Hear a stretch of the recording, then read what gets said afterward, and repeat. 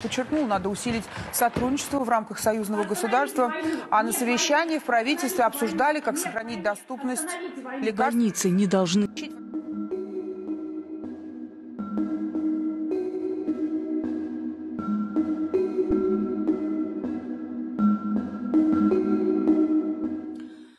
Quello che sta accadendo in Ucraina è un crimine. La Russia è un paese aggressore e c'è solo un responsabile per questa aggressione e questa persona è Vladimir Putin.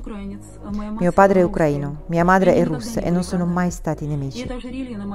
La collana sul mio collo è il simbolo che la Russia deve immediatamente finire questa guerra fratricida e i nostri popoli fraterni potranno ancora fare la pace. Purtroppo negli ultimi anni ho lavorato al canale 1 occupandomi della propaganda del Cremlino e ora me ne vergogno tantissimo.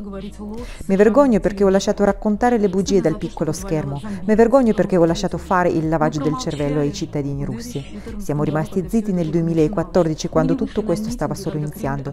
Non siamo scesi in piazza quando il Cremlino ha avvelenato Navalny. Siamo rimasti a guardare in silenzio questo regime disumano.